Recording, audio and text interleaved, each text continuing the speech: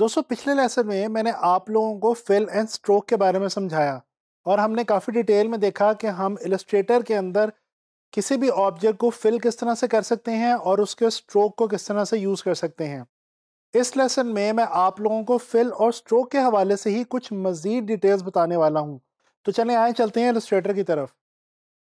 दोस्तों, यहाँ पे मैंने आप लोगों के लिए इस वक्त एक फ़ाइल प्रिपेयर की हुई है। जिसमें मैंने डिफरेंट ऑप्शंस बनाई हुई हैं फिल और स्ट्रोक के हवाले से। तो चलें आए मैं आप लोगों को दिखाता हूँ कि हम किस तरह से एलस्ट्रेटर में फिल और स्ट्रोक की ऑप्शन को डिफरेंट तरीक़ों से इस्तेमाल कर सकते हैं। दोस्तों, ये सारे स्क्वेयर्स एक ही साइज़ के मैंने बनाए हैं।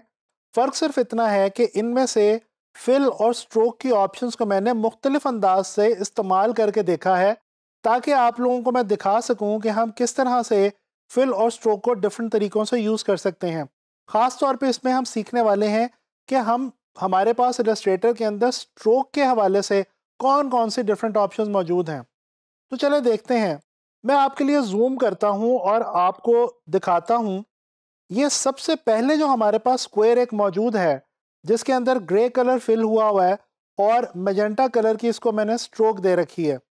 दोस्तों अगर आप गौर करें, और जैसा कि इसके ऊपर लिखा भी हुआ है कि इस स्क्वायर के अंदर ग्रे कलर फिल हुआ हुआ है, और मजेंटा कलर जो है, वो इसके स्ट्रोक के ऊपर है, यानी इसके अंदर फिल और स्ट्रोक दोनों एट अ टाइम मौजूद हैं।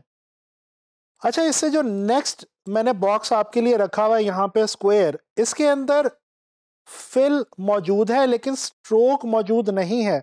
जैसा कि इसके ऊपर मैंने लिख रखा है फिल ओनली तो यानी कि अगर आप आ, सिर्फ़ खाली फिल करेंगे कि इसी स्क्वायर को और इसको स्ट्रोक हटा देंगे तो ये कुछ ऐसा आपको दिखाई देगा। इसके बाद जो नेक्स्ट यहाँ पे हमारे पास स्क्वायर मौजूद है इसको मैंने सिर्फ़ स्ट्रोक लगा रखा है और इसका आ, कलर है यानी कि इसके अंदर जो फिल है वो मैंने इसके अंदर यूज़ नहीं किया।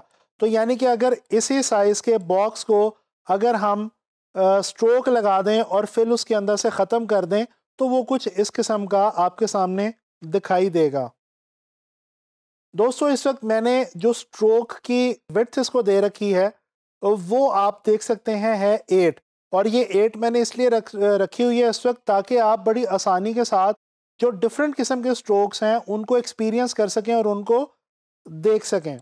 अच्छा दोस्तों, ये तो हो गई सिंपल बात फिल एंड स्ट्रोक की कि अगर फिल और स्ट्रोक इकट्ठा लगाया हो फिल खाली यूज़ किया हो या स्ट्रोक खाली यूज़ किया हो तो फिर हमारे सामने जो हमारी ऑब्जेक्ट है, हमारा जो ऑब्जेक्ट है, वो किस किस्म की शक्ल जो है, वो प्रेजेंट करता है।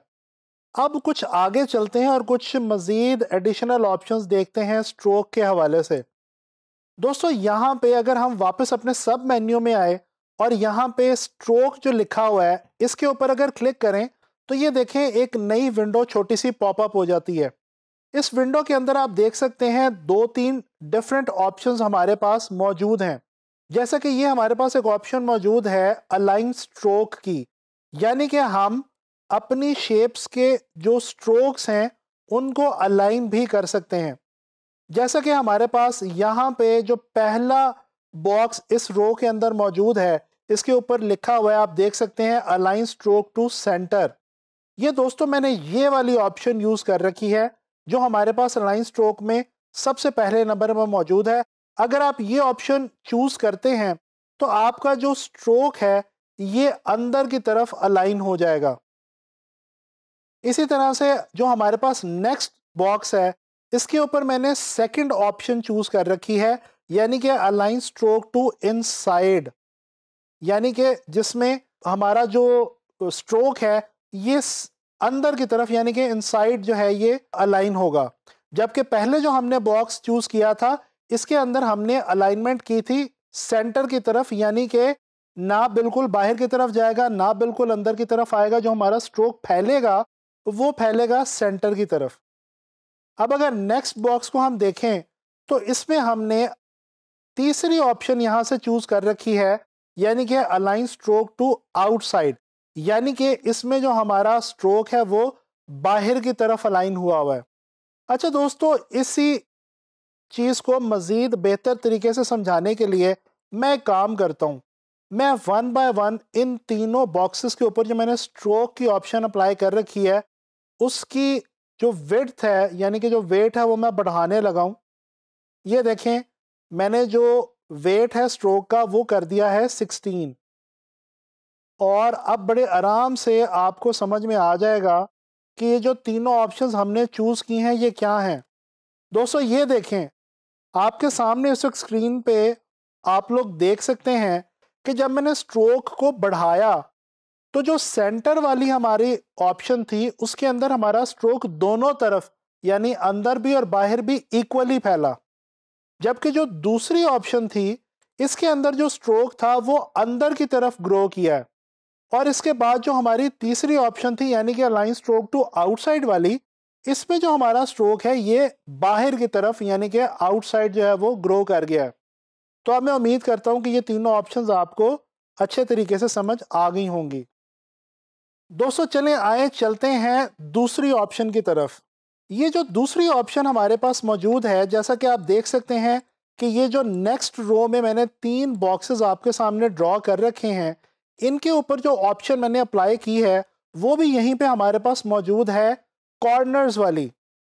दोस्तों, ये जो हमारा पहला बॉक्स इस रो में हमारे पास मौजूद है, इस पर मैंने लगाया है मीटर ज्वाइन दोस्तों, ये जो ऑप्शन है कॉर्नर्स वाली, इसके अंदर बेसिकली जो फ़र्क पड़ेगा, वो हमारे स्ट्रोक के कॉर्नर्स को पड़ेगा।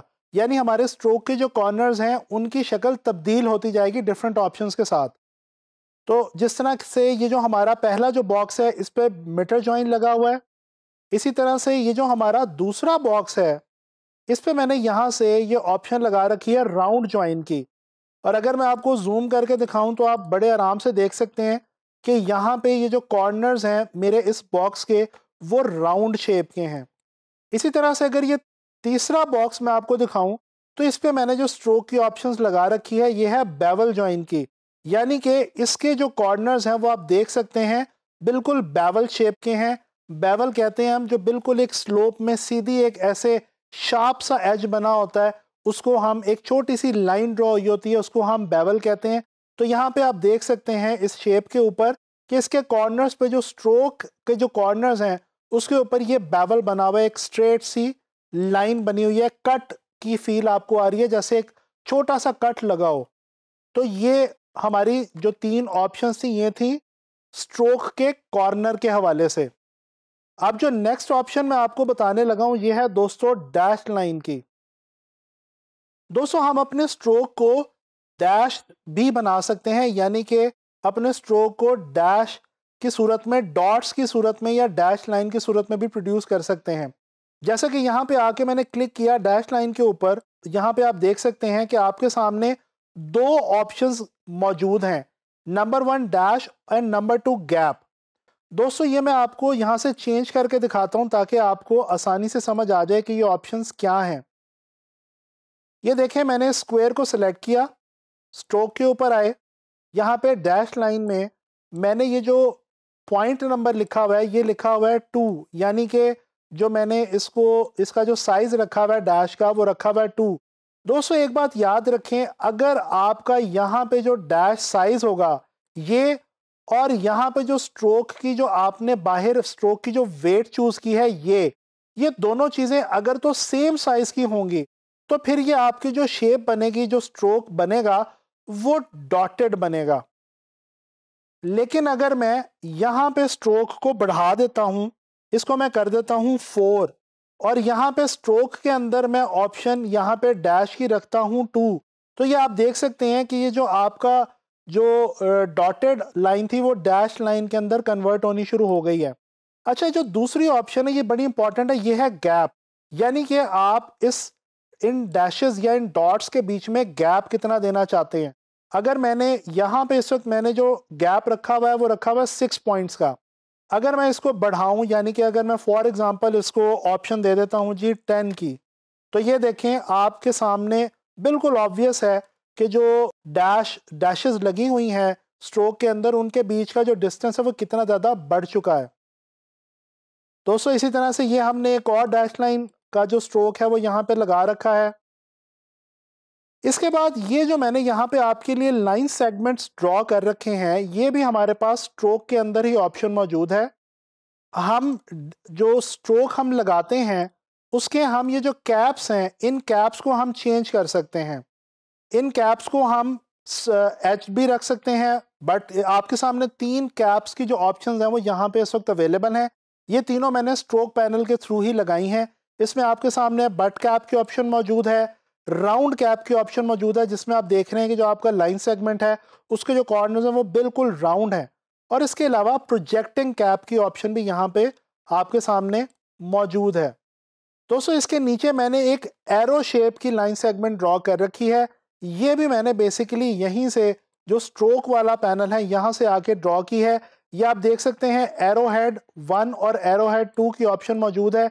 ये वाला जो एरो हेड है, ये इसके स्टार्टिंग पॉइंट यानी कि लेफ़्ट पॉइंट वाला एरो हेड है और ये जो इसका एरो हेड है, ये इसके राइट वाला एरो हेड है। ये देखिए, अगर मैं इसको चूज़ करता हूँ तो यहाँ पे भी एक एरो बना नज़र आ जाता है। जबकि अगर मैं इसको नन करता हूँ तो ये एक साइड से लाइन सेगमेंट बन जाएगी और दूसरी साइड से जो है वो हमारे पास एरो की शक्ल में आ जाएगा। तो दोस्तों, इस तरह से आप लोगों ने देखा कि हमने स्ट्रोक के पैनल में जाके स्ट्रोक की ऑप्शन में जाके डिफरेंट जो हमारे लाइन सेगमेंट्स हैं या हमारे जो स्क्वेयर्स हैं, हमारे डिफरेंट जो शेप्स हैं, उनके स्ट्रोक्स को हम कितनी आसानी से चेंज कर सकते हैं और कितने मुख्तलिफ़ किस्म के स्ट्रोक्स जो हैं, वो हम अपनी ड्राइंग्स या इलस्ट्रेशन के लिए इस्तेमाल कर सकते हैं। दोस्तों, मैं उम्मीद करता हूँ कि आप लोगों को फिल और स्ट्रोक के हवाले से इलस्ट्रेटर के अंदर जो ऑप्शंस मौजूद हैं, वो अच्छी तरह से समझ में आ गई होंगी। अब आप लोगों ने करना यह है कि डिफरेंट शेप्स ड्रॉ करनी है शेप टूल की मदद से और उनके ऊपर जो भी मैंने आपको ऑप्शंस बताई हैं फिल और स्ट्रोक के हवाले से, उन तमाम ऑप्शंस को बार बार अप्लाई करके देखना है, ताकि आपकी फिल और स्ट्रोक के हवाले से प्रैक्टिस हो सके।